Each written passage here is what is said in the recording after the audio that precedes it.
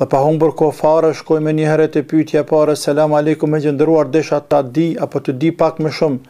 për namazin e istikharës, a bën me na shpjegue këtë namaz? Namazin e istikharës, domethënë kur njeriu është pak i dyshimt në ndonjë vendimmarrje, kur njeriu është i luhatshëm shumë, kur njeriu don me marrë një vendim, don me bo një punë, Por, si thotë populli, po qet një kamë para, një hap para, një hap mrapa. Nuk jam aq i sigurt. Për shembull, kur njeriu don me u fejue, qoftë djali, qoftë vajza, nuk është bash i qetë dhe kërkon ndihmën e të madhit Allah Azza wa Jall. Në këtë rast fal namaz istikhare, e që është namaz prej dy reqateve, Siç ka ardhë në hadith të Xhabirit, radiallahu anhu, të transmetuar në sahihun e Bukhariut, se pejgamberi alayhi salatu wassalam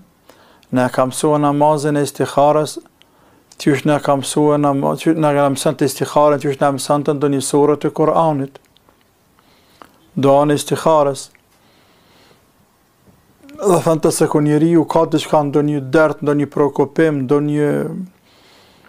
ndonjë punë që don me krye dhe siç thashë nuk din kah m'ia majt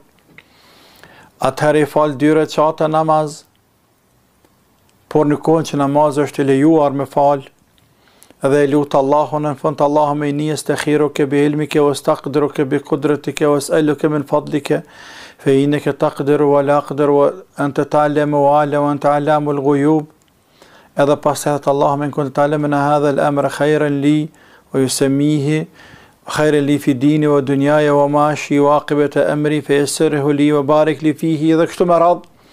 E gjeni dikund të përkthyer në gjuhën shqipe hadithin e pejgamberit alejhi salatu was salam që e lut robi Zotin m'ia kthjellue, m'ia lehtësue, m'ia zgjedh ça është hajr për qatë punë, për qatë vepër të cilën po don me ba. Apo don për shembull me hi në një vend një pune ku ka pozitive, ka ka pak negative, nuk është shumë i qetë, ja punë në largë, ja ku di unë, apo don me marrë rrugë dikun, apo don me ble ndonjë shpi dikun, apo don me ble ndonjë banesë dikun, dhe nuk e din a ashtë mirë, a s'ë mirë, a mos po bjen pishman, fal namaz istikhare, që është tash në kohë kur është hallall, kur është e lejuar me falë namaz, e kem për qëllim kur e lejuar, jo mas namazit të sabahut, sepse s'bën me falë derisa të lindet dielli dhe të ngritet pak lart, nuk bën me falë namaz. Pastaj, jo duke kur ë dielli në zenit, derisa të anohet dielli, derisa të kohë drekës dhe jo mas iqindisë derisa të perëndon akshami, derisa të perëndon dielli, pas akshamit jo, këto kohët e tjera fal kur dush.